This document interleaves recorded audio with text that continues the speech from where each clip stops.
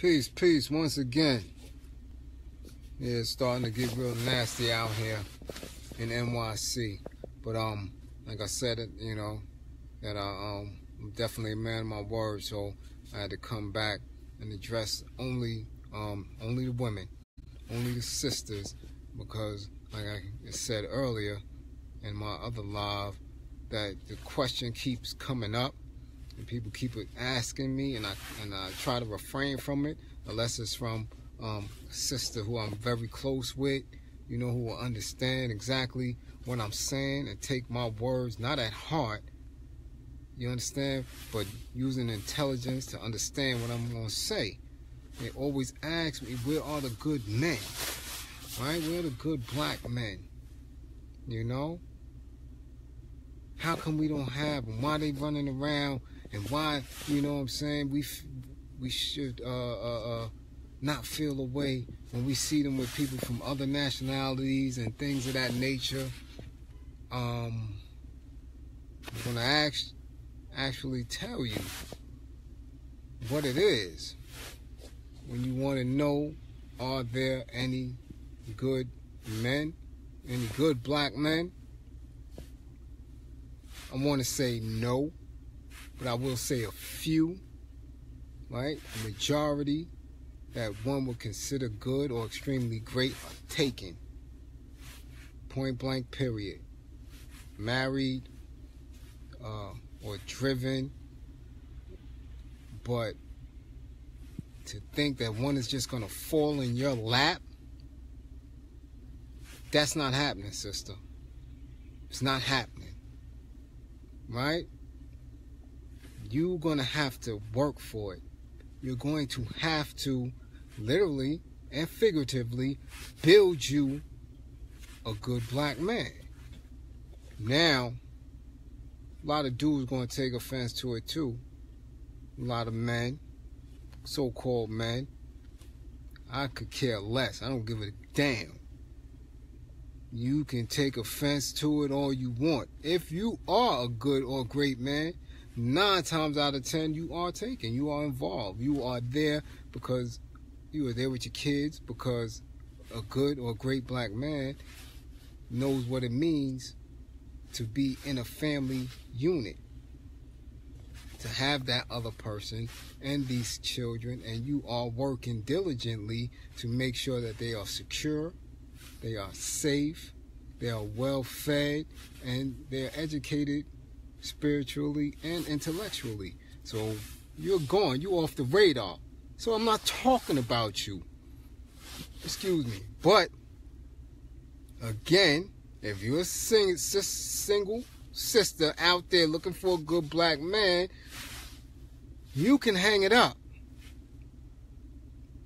Not, it's not falling in your lap. You literally have to build you a man. Why? Why you say that, brother? Why? Because there is no incentive for a man to be good, especially a black man in 2018.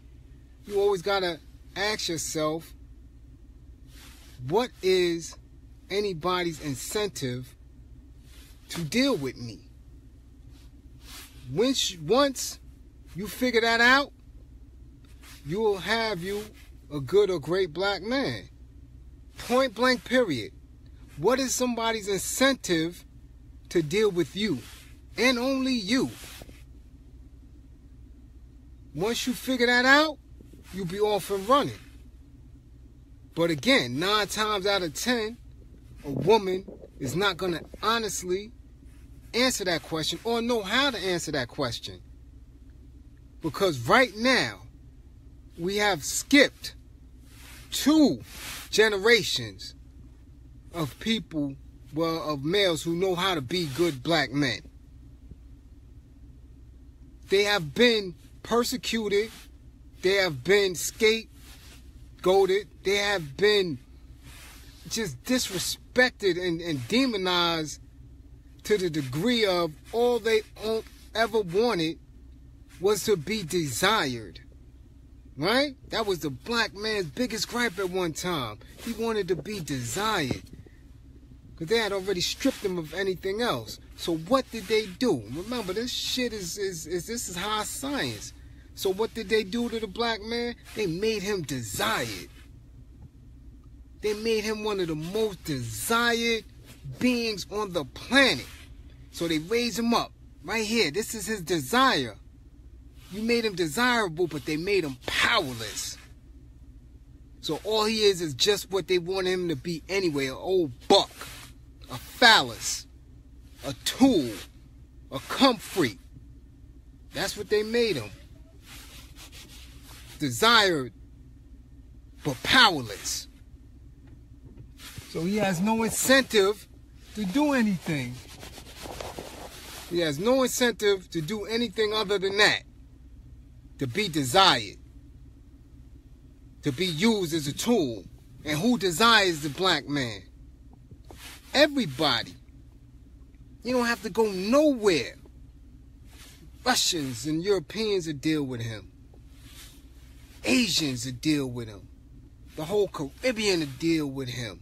Latin America will deal with him, using him, keep him in a home somewhere, and they don't care what type he is. He could just be coming out of a rehab. They made him desirable and powerless. You understand that? Desirable and powerless. So his incentive to be right there with you is gone. You don't have to be there. And if the only thing that you have to offer him is some pussy, then you done off. B, he could get that anywhere. From 18 to 60 to 65, they're making everybody open to this black man. Women are throwing it at him. For what? because they're utilizing him, making him useless. They're making him desired and powerless. So you, standing on your moral ground, don't have a shot. What is his incentive to deal with you? Who are you? So therefore, I'm telling you, you have to build you one. You have to find one that will at least listen and then you have to walk him on the path that you need him to walk. But first, you got to have knowledge of self. Because if you don't know that you need to be liberated, then you done off. So you're just going to build the average dude that's out here that's going to do the same old bullshit the rest of them doing.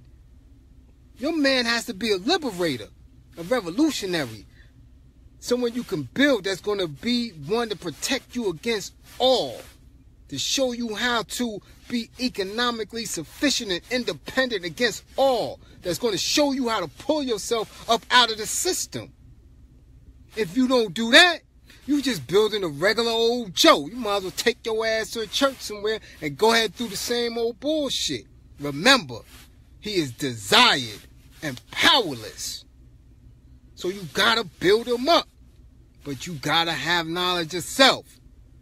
Because they're throwing everything at. Everything. Everyone. Don't you see who your best friend is? Every reality show, you don't see no best friend. Black man, heterosexual. You don't see that. Who do you see as your best friend? the desired. They even made the black man desire his self. Powerless. Powerless, but desired. So he ain't nothing but a what? A, a buck. A phallus. A tool. And that tool gonna go anywhere. What's an incentive for a tool? He has none. The tool is gonna work with whoever is using him. So why he gotta stay home with you? Why he gotta take care of your kids? Why he gotta make sure that you're safe and comfortable? Why he gotta cuddle and hold you and massage you? For what? What do you have that the rest of the world don't have? What is his incentive to deal with you? When you figure that out, then you will have a black man. Until then, you mixed up, done off, complaining, beefing, switching teams, all that other funny style shit. What is his incentive to deal with you and only you? What are you bringing to the table? What do you have that's different from any other woman on the planet? And you better be honest with it. Because the minute that you're not honest with that, that's when you start to fool yourself. And that's when you get caught by the dummy that's going to come in and abuse your kids. Or the dummy that's going to come in and bust you upside your head. Or the dummy that's going to come in and hump your mother or your cousin or your girlfriend or your sister. You got to be honest. What is somebody's incentive to deal with you and only you? And if you don't know it, be honest with about it. Then you can build you a man. You can build you a king. You can build you a god. That's the secret to this bullshit. Because one, falling in your lap ready made, sweetie, this ain't this 50s, 60s, 70s, or 80s. Black man has not been taught to be good. He had the luxury of being a fucking loser and accepted as being a loser. So you better find it out. You want man? Build you one. Until then, stop beefing and complaining. Complaining, excuse me. They ain't out there. Peace.